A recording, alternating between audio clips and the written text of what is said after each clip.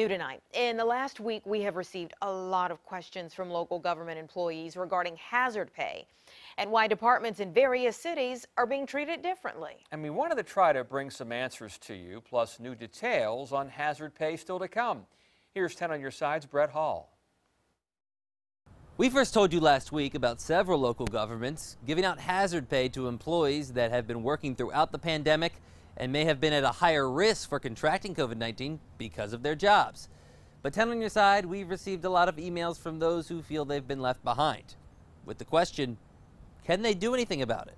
People like Portsmouth Sheriff's deputies. We've received several emails from that department alone asking why, when Portsmouth City Manager proposed giving all full time sworn public safety employees a $2,000 one time payment in hazard pay, were the deputies not included.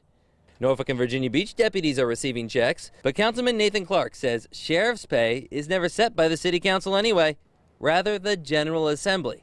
A similar answer was given by a spokesperson from the city of Hampton on why their deputies aren't receiving hazard pay.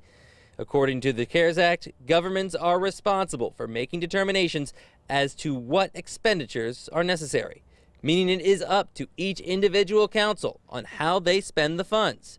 Hazard pay doesn't have to be given at all. I am proposing to you $5 million in, in a hazardous duty supplement uh, for employees. But more is coming.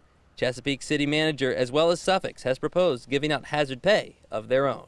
But again, CARES Act funding, and I'm reading from the government's website here, can only be used to compensate public safety, public health, healthcare, human services, and similar employees, there's a little leeway there, that had a direct role in mitigating the COVID 19 emergency.